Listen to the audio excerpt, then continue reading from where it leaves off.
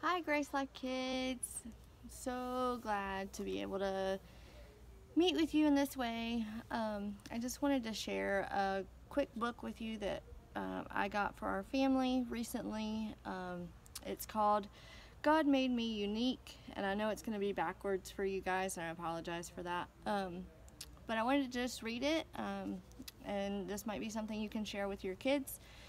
Um, but I chose this book specifically for what's going on right now. Um, we just want to be thinking about other people and being compassionate towards their needs and things like that um, when we are out in the community. Um, so, anyway, here is God Made Me Unique.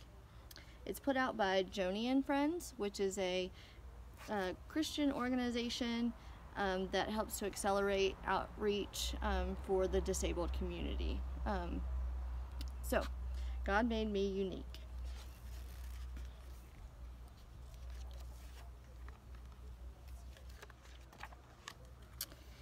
It all started as an ordinary Sunday at church. Some children came yawning and rubbing their eyes. None of them knew there would be a surprise.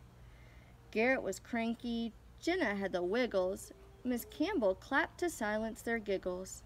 I have an announcement you'll all want to hear. Please come join our circle. Let's all gather near. Miss Campbell sat waiting as children grew quiet. They all sat down slowly, that is, except Wyatt. He stood in the back with a small spinning toy. His mom always says He's busy. He's a busy young boy. The toy helps him focus, keeps hands to himself. Miss Campbell keep extras high up on her shelf. Thank you for giving me all your attention. Before we get started, there's news I will mention. There's a friend who is joining our class this week. Our friend's name is Bree, and like us, she's unique. Her family moved here just two weeks ago. She loves to eat pizza her dog's name is Bo. First days can be hard when all things are brand new. Like the first day of school. Do you think this is true? I cried when I started first grade, said Jamal. They looked right at my chair and said I couldn't play ball. It hurts to be left out, says Miss, Cam Miss Campbell agreed. We should never exclude based on a disability. We're all here this morning to talk about special needs. Do you, have you heard that phrase? Do you know what it means? I do, called out Wyatt while waving his hand. God made me unique. It was all part of his plan.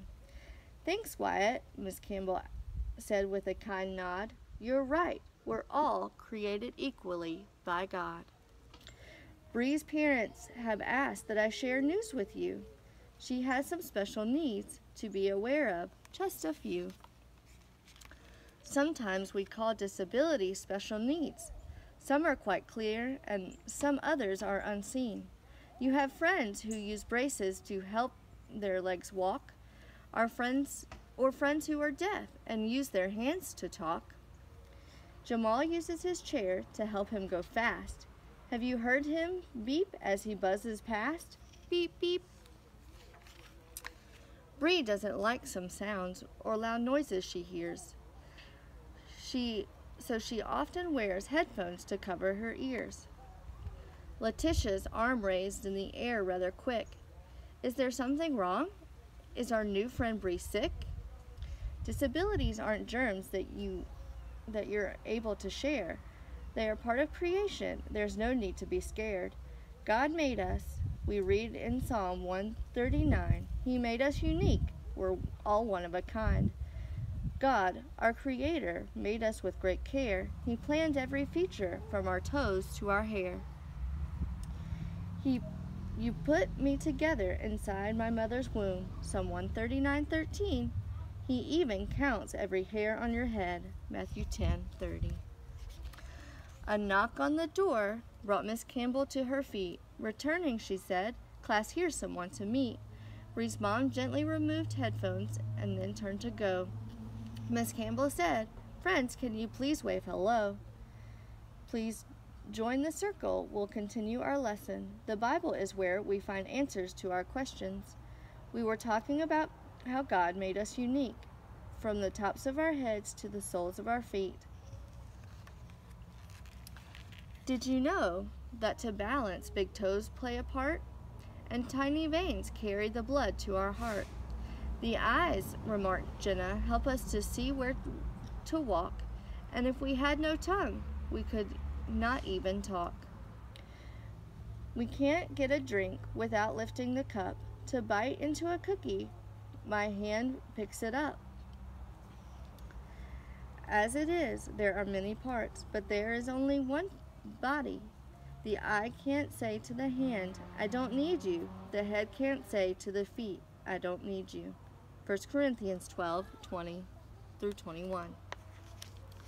Miss Campbell was excited. Isn't it neat?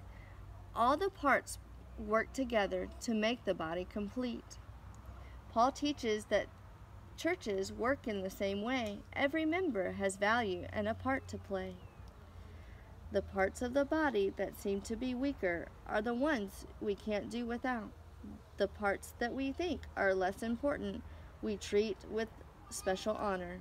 1 Corinthians 12 22 through 23.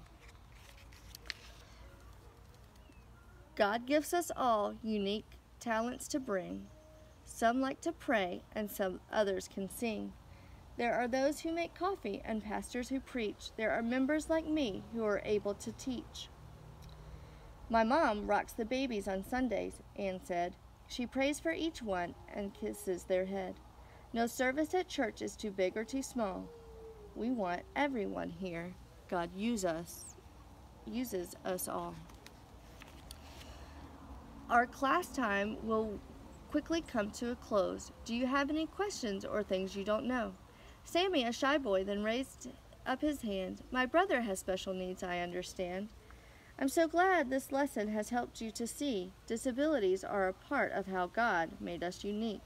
Let's pray and thank God for teaching us about our worth. And a small voice said, God, thank you for making me feel welcome at church. Anyone who welcomes a little child like this one in my name welcomes me. Matthew 18:5. The end. Thank you all for listening and sharing this book with me. I'll have a couple others that um, I'll be sharing throughout the next couple weeks um, just to help you as you try to um, pass on some lessons to your children. Um, and we'll talk to you soon. Thanks so much.